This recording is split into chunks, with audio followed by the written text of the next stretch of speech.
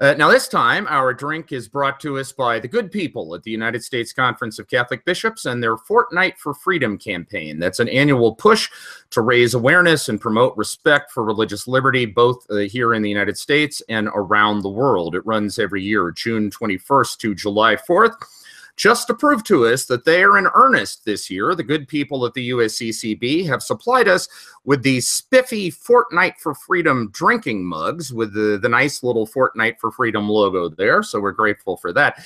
And, and by the way, let me say, I think their instincts here are spot on. I mean, let's face it. Reasoned arguments are great, but if you want to win American hearts and minds, beer mugs clearly are the right way to go. So, so they are all in, and uh, we are delighted to bring this series of Fortnight for Freedom uh, episodes of A Drink with John uh, to you. Today, I am delighted to be joined by one of the best Catholic legal minds in the country uh, a former clerk of the United States Supreme Court under Chief Justice William Rehnquist, now a professor of law at the University of Notre Dame. He is a prolific author and a frequent commentator in the media. I am sure you have heard and seen him multiple times talking about virtually any church state issue that moves in this country. Uh, delighted to say hello today to Professor Rick Garnett at Notre Dame. Rick, how are you today? Doing well, John. Good to be with you. Uh, I wish I had Cheers my, beer, you, my man. I wish I had my beer mug, but I'm with my USCCB coffee mug this morning. Well, you know, you're in the ballpark. That that's all that matters. Uh, now, listen. Thank you so much for making some time for us here today. I know you are an extremely busy guy. Uh, but let, let's start with this, Rick. You write a lot on religious freedom and on church state issues uh, and so on. Now, the USCCB launched this Fortnight for Freedom campaign a number of years ago because at the time uh, they said they were worried about what they called a worrying erosion of respect for religious liberty in the United States. So, as a legal guy, uh, first of all, why is religious freedom such a core constitutional and legal principle? And are you worried that there is an erosion of respect for religious freedom in this country? You know, it's been 20 years or so since President Clinton signed the uh, Religious Freedom Restoration Act, and it's it's hard to believe that uh, it was passed almost unanimously. You know, these days Congress can't seem to agree on what color the sky is, but they almost unanimously came together for the Religious Freedom Restoration Act. And President Clinton, uh, in his signing ceremony, which was very moving, he called religious freedom our first freedom. And I think by that, he didn't just mean that it happens to be in a provision called the First Amendment, but that it's really foundational, that, that this commitment to freedom of conscience and freedom of religion in the American tradition has kind of been the foundation for so many other freedoms that we uh, that we cherish, that we that we hold dear.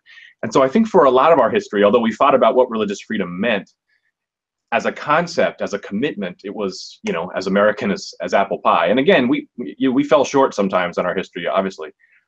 I think what's worrying um, and what the bishops were getting at uh, when they started the Fortnight for Freedom is that the the sort of take for grantedness that religious freedom is important is slipping a bit. You know, when you when you read news stories, sometimes you'll see it put in scare quotes, like it's something exotic or strange.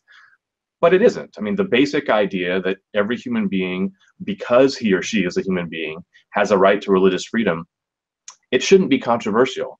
But I think in, in recent years, it's become more problematic and it's become identified in some people's minds with you know left right divides or culture war issues but that's that's not the way it's uh, supposed to be it's supposed to be religious freedom as a fundamental human right and a constitutional right for all people and you know you uh, you're under the dome there at Notre Dame, Rick, uh, which means you rub shoulders a lot of the time with with twenty somethings, with young people.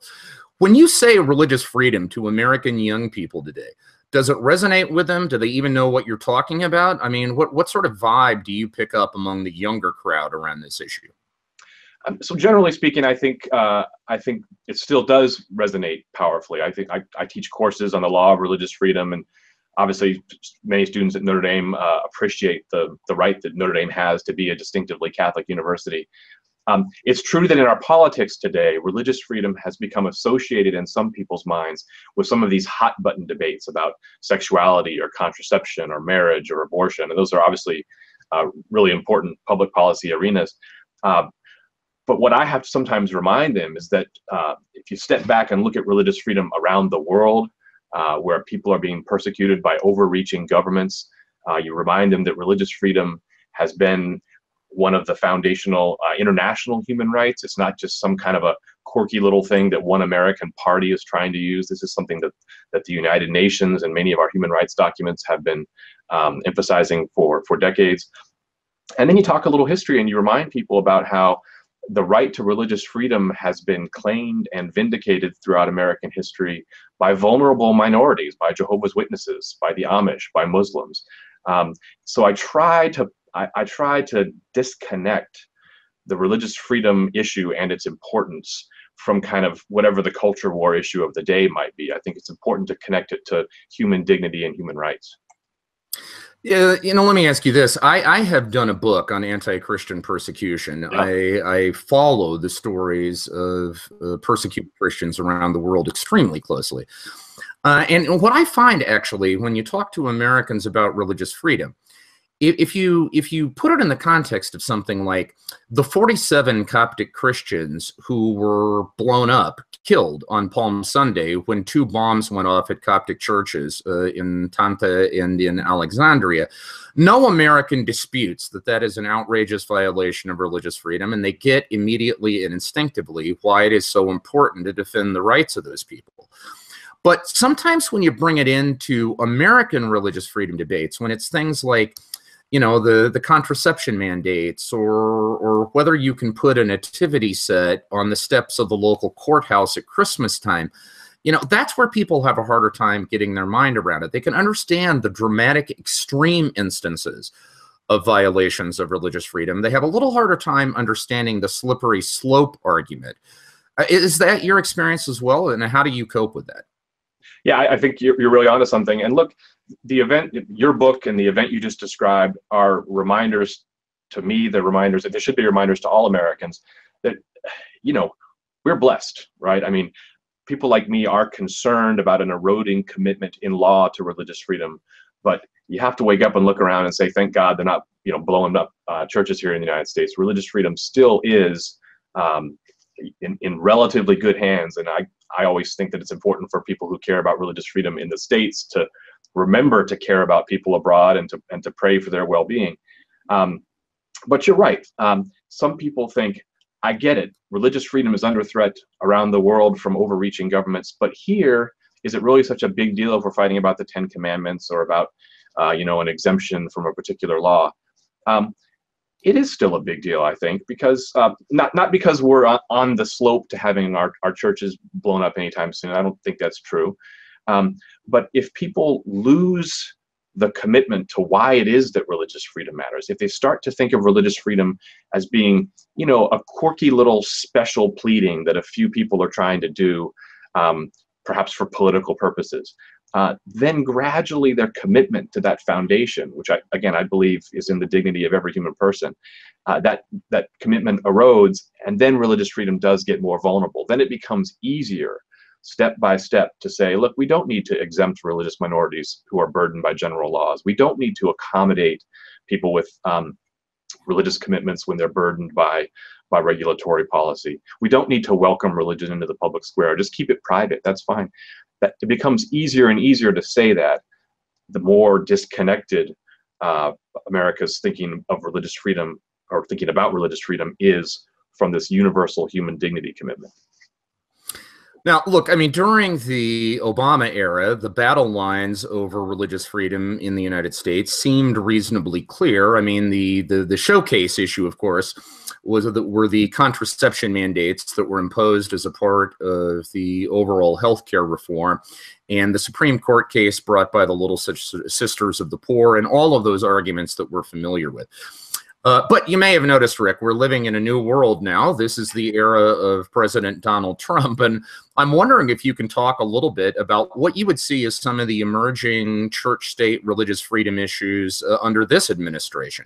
Uh, I mean, it would, it would seem uh, that the contraception mandates debate is largely resolved. Uh, but uh, you know, are there issues, for instance, uh, around the ability of faith based groups to continue to deliver services to migrants and refugees? Without running afoul of government interference? Or, or just what would you see uh, as the kind of emerging issues on the religious freedom front in this country? Well, uh, two things. You know, first, I'd want to underscore that even in the previous administration, the vast majority of religious freedom issues didn't involve uh, the contraception coverage mandate. Those were the ones that were most salient in the news. But you know, in in dozens and dozens of small cases that didn't get much notice, laws like the Religious Freedom Restoration Act uh, protected religious minorities, whether they were Muslims who didn't want to have to um, remove their head covering during their driver's license picture, and you, I could think of dozens of other ones going forward, I think you hit the nail on the head. I think the the place where we're going to see the religious freedom struggle in in America kind of uh, coming to a head is going to be with efforts to to attach conditions to things like licenses to practice medicine or practice law, the ability to participate in for of a hospital to participate in the Medicare or the Medicaid type programs, the ability of Catholic universities or religious universities to to get contracts or research grants or student aid money. And then the example you gave, will faith-based initiatives uh, and, and, institutions be able to cooperate with government to provide social services to the poor or to resettle refugees or to fight human trafficking? Um, on the on the one side would be someone like me who would say this kind of cooperation is essential for civil society to function. You don't want to push religious institutions out to the margins. On the other side, though, you are going to see efforts to say, look, if you want to participate in these programs, if you want to settle, if you want to resettle refugees, you have to agree to refer for abortions, say, or you have to agree that you uh, you won't. Let's say you're a school that gets a school voucher. You have to agree that you won't teach um, Catholic doctrine for the truth of the matter, or you'll have to agree that you won't um, take mission into account in terms of hiring and admissions. This is the kind of subtle way I think that the distinctive religious character of these organizations can be undermined is through these uh, conditions. So I think we're going to see in the legal ar arena efforts to figure out exactly what are the limits on the government's ability to use these conditions to kind of, in a way, hum impose a uh, homogeneity on religious institutions. So this is a case, Rick, really, in which eternal vigilance really is the price of liberty, right? you got to stay on top of this stuff yeah, I think it's it's a it's a it's a two part thing. On the one hand, be grateful for what we have and pray for those abroad who don't have the blessings of religious freedom that we have, and be vigilant, pay attention, and be aware of the fact that even though our commitment to religious freedom is in our Constitution and it's been around for a long time, that it, it can't be taken for granted. Uh, now, as you know, in the street and in the popular arena, a, a, big stumbling block for a lot of people often in talking about the limits of religious freedom and so on uh, is the concept of church-state separation. That in America, church and state are supposed to be separate. Now, I know this is a topic you have written books on, you've given lectures on. You know, you've uh, you you are probably one of the best Catholic minds in the country on this issue. So, tell us, how do we put together respect for religious freedom and the concept of church-state separation? Yeah, well, I appreciate the kind words. I'll, I'll pretend they're true, but um, it's, it, you, you raise a, a crucially important point. Sometimes defenders of religious freedom mistakenly think that they have to be against the idea of church-state separation, and that's just wrong. You know, the uh, the Pope Emeritus uh, Benedict uh, remarked when during his visit to America, I think back in 2005, that America's tradition of separation of church and state is what he called a positive or a healthy one. On that understanding, what separation means is not religion gets kicked out of public life or religious believers don't have a role in the public square. It's not a separation of faith from public life. Instead, the separation we're talking about is between religious and political authority. So in our tradition, you know, the, the, bishop doesn't get to set the speed limit and Congress doesn't get to pick the bishop. And that's the kind of healthy separation that I think is very good for political stabi stability very good for political freedom. So sometimes the term separation of church and state gets waved around like a, you know, a slogan or a cudgel, as if what it required was, you know, uh, no one can ever use uh, public funds to attend Notre Dame, or um, as if it's a violation of uh, Thomas Jefferson's wall if the church runs a soup kitchen that gets a grant from the state. Separation doesn't require that kind of um, hostility or walling off. It permits cooperation.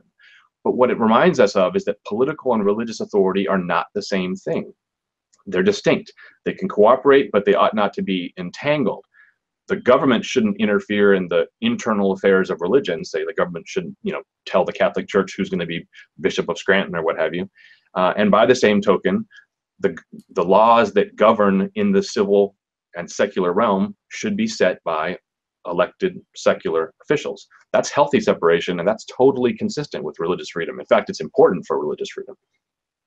I, unfortunately, I've got to play my Vaticanista Union card here, Rick. Uh, Benedict XVI's trip to the United States was actually 2008, not 2005. Ah, okay. Uh, but his sound his sound bite on that trip, uh, and I remember this very well, was that the difference between Europe and the United States is that in Europe, church state separation means freedom from religion, whereas in the United States, church state separation means freedom for religion. And that's a key distinction. Yep, it is. It's a, it's a crucial distinction. Okay, listen, we're almost out of time, but listen, I can't let you go without asking you this. You are a former Supreme Court clerk. You, you have your eye uh, on the Supreme Court, I know very keenly. Uh, let me ask, what did you think of the Neil Gorsuch appointment, and what kind of justice do you think he's going to turn out to be? Uh, I was highly supportive and, and, and remain so of, of Judge Gorsuch. I've actually known him for a while. I, I admire his writing. I admire his career in the law. Um, for someone like me, who I, I admit I, I wasn't uh, a, a, supporter of, of the president, I, I felt very pleased when he nominated Judge Gorsuch because it struck me as precisely the kind of thing that a you know a, a mainstream uh, elected president would would have done. Judge Gorsuch is highly accomplished, highly credentialed, well respected, and uh, I think he'll be a worthy uh, successor to to Justice Scalia. I don't think they're cookie cutter alike, but they I think they have a, uh, a similar skill with with writing, and I think they have a similar commitment to the rule of law. So I'm expecting um, I'm expecting good things from him. I do believe there's reason to think that he understands the importance of religious freedom in our Constitution and in our federal law. Uh, the opinions that he's written seem to suggest that to me. So, uh, at least with respect to the religious freedom question, I feel like uh, that those values will be in pretty good hands with him on the court. All right. Well, as all that plays out, Rick, we are going to continue to come to you. Thank you for your time today. Thank you for the acumen and the insight uh, and the clarity you always bring to these issues. And thanks for having a drink with John. Good to be with you, John. All right. This has been a drink with John. Uh, join us next time. Uh, we will continue to bring interesting minds and voices on these issues of religious freedom around the U.S. Bishops' Fortnight for Freedom campaign. Until then, I will talk to you next time.